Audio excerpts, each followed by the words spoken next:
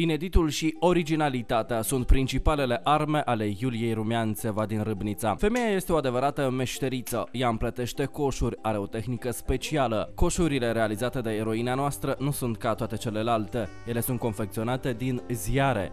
Femeia spune că realizarea coșurilor din ziare este un exemplu real că un morman de hârtie îl poți transforma în artă. Produsul final este unul excepțional. Mai mult, confecționarea coșurilor din ziare nu necesită migală, dar mai puică este și ieftin. Самое трудное, наверное, было научиться плести трубочки.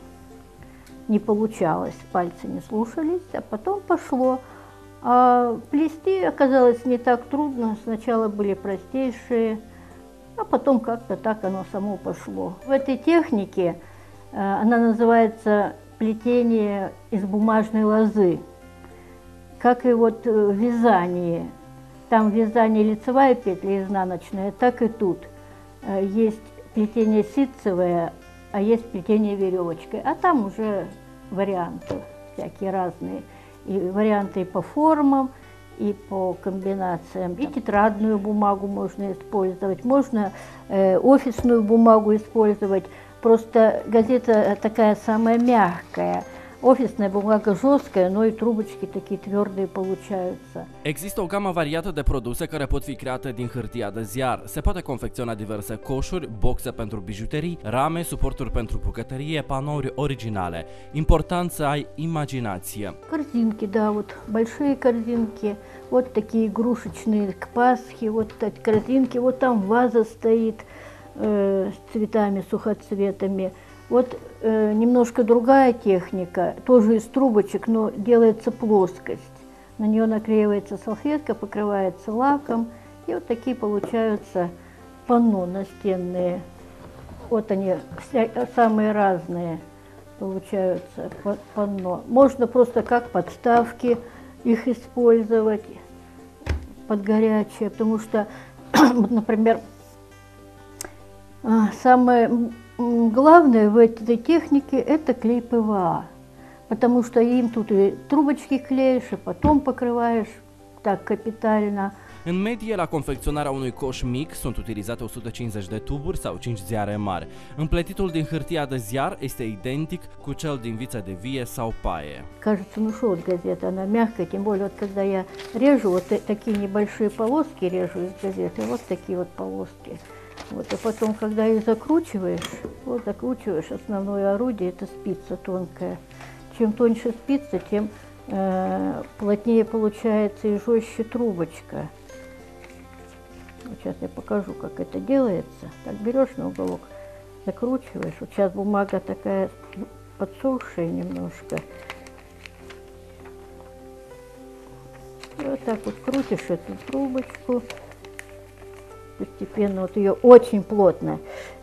После, если больше 50, 50 трубочек за вечер накрутишь, так уже тяжело. И если еще больше, где-то 80-100, так мозоли уже появляются на пальцах, потому что надо очень плотно. Вот получилась трубочка. Теперь она настолько плотная, что ее вот так не вытащишь.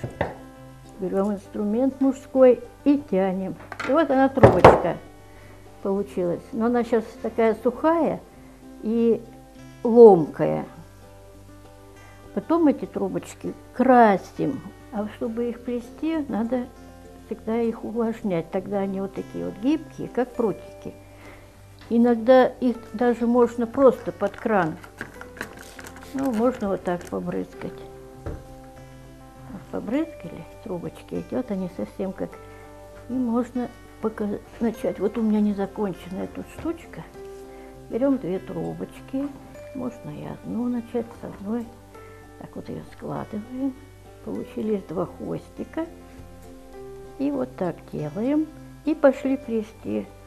Раз. И пошло дело. И вот так сидишь и плетешь. Потом это все густо-густо промазываем клеем ПВА, потому что он нам дает эту дубовую крепость. Высохло все. И потом вот этим лаком покрываем, снова высохло.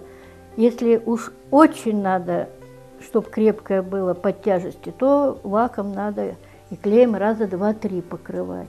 Toate lucrările Iulia le acoperă cu lac. Unele sunt și ornamentate, în ciuda faptului că toate lucrările sunt realizate din hârtie, ele sunt foarte rezistente. В принципе, они как дерево, их не поломать.